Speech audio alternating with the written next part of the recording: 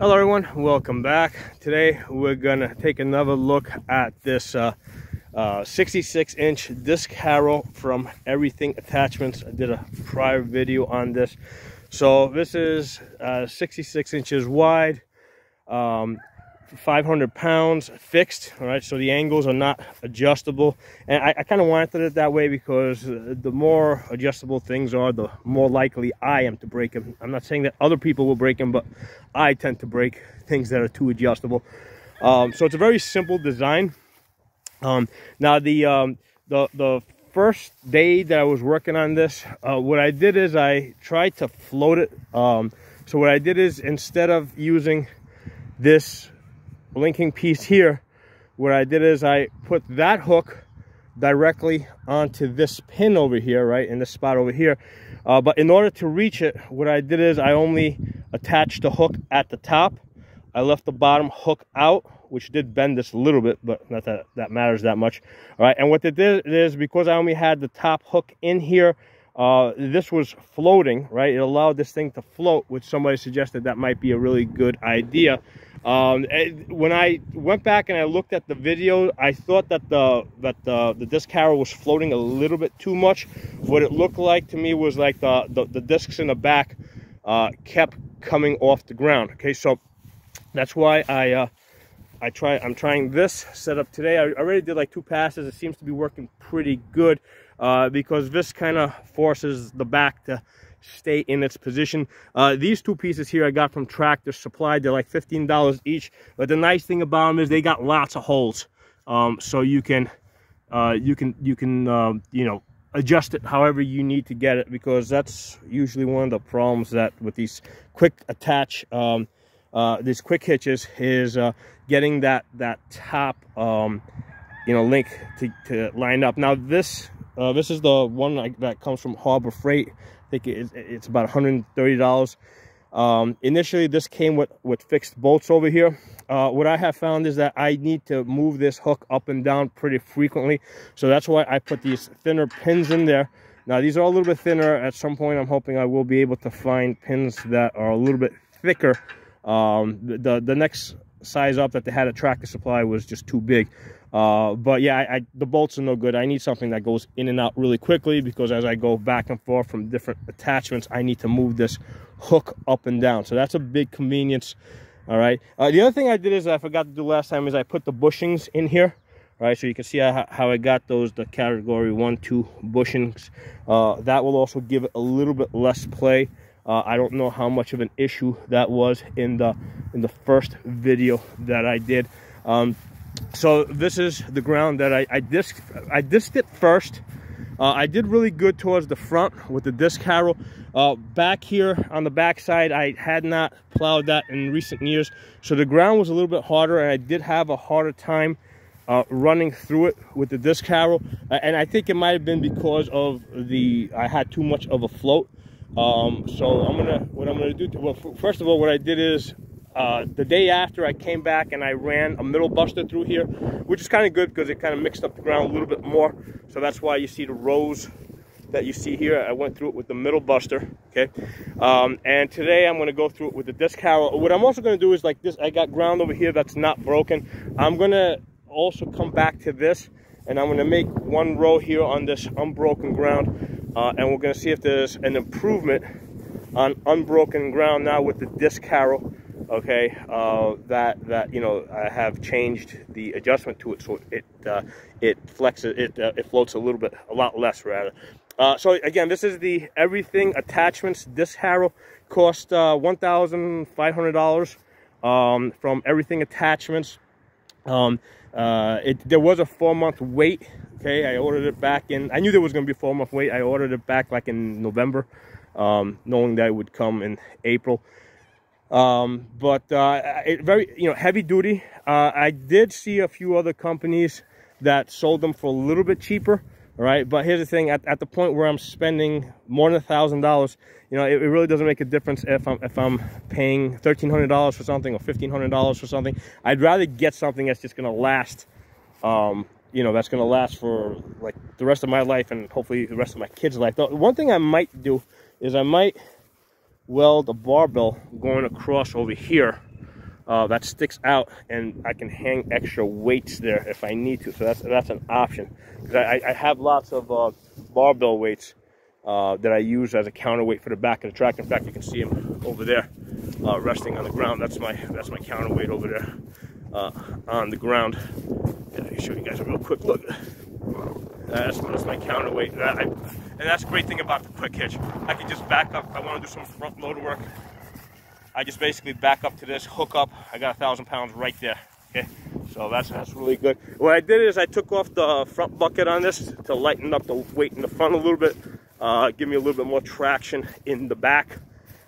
All right, so let me move up the camera. I'll put the camera on a tripod and let's run this. Oh, one of the things I, that did come up uh, as I was testing this earlier, uh, because of because the hook now is about six inches forward, that's basically the highest position that I can get in, uh, which is off the ground, but you know, in some places the ground is uneven. So here's the thing, on certain, in certain spots, I am going to hit the ground, right? If I, you know, when I don't want to, um, and I noticed that can be a particular pain in the butt uh, if you're trying to make a turn, and the ground is such that the that the uh, harrow in the back is uh, is hitting the ground. So let me actually let me pause this and I'll put this in the tripod. Uh, that should give you guys a good view of the old ground that we're going to be working on and also of the uh, um, the new ground that we're going to break over here. Actually move it a little bit more to a slant so that as I go past it, you guys can see what what it's doing. Here you go. So let me move it here, actually here. Will, this will give you guys a better view as I'm going through it. All right, All right let's get this started.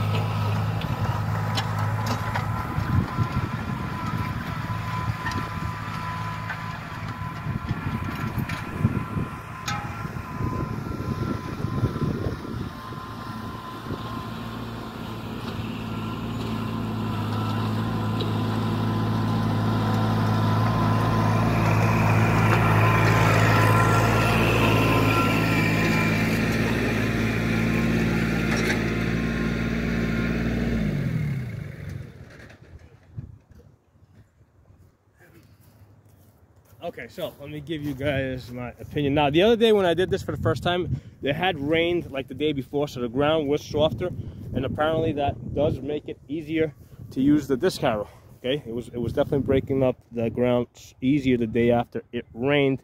Um, over here where I was going through the unbroken ground, uh, basically I think I was just, it looked like it was just clipping the grass. you know, it really didn't dig in much. Um, so I would definitely have to run a, a, middle buster or plow through here in order to turn this over. I, am um, going to probably end up getting a proper turning plow, you know. Um, um, okay, now in the area that I had already turned over the other day and then ran through it with the middle buster, um, that that turned out pretty good. I mean, that that that's breaking it up nice. Okay, um, so I, I, think I'm just gonna have to break down and get a get a turning plow. I, I don't need it. I don't think I'm gonna need it this year, but you know, because I pretty much the area that I want to plant, I've already more or less have already broken the ground. And um, now the um, you know the, the thing I did notice is that uh, it, it was definitely giving me a little bit more pressure in the back okay although despite you know because the ground was a little bit harder it had less effect on the unbroken area um, I would like to turn it a little bit more down right? You know I would like to let out the top link a little bit more but I would I would definitely be hitting the ground a little bit more as I turned. And even at this level here I did notice a couple times when I was turning uh, I did actually hit the ground a little bit not not enough to stop the tractor but uh, I don't think I can let that down uh, anymore. I mean, that's that's where it's going to have to stay. Uh, I definitely make, you know, I mean, having gone through this, I definitely may want to put a, a, a, bar a bar across the top here, welded in place, so I can add extra weights. Uh, that that won't hurt. I would actually do it on this side over here. Just run it, run a bar right across over there. You know, just get like a, you know, just an Olympic bar, cut, you know, cut it, and then just just add the weights over here to the side you know, you can easily get another two, 300 pounds on there. Okay, so hope you guys enjoyed the video. Uh, this has been a very interesting, fun adventure. Um, drop some comments below if you got any feedback from me, any suggestions. Uh, everything's appreciated. I'll talk to you all soon.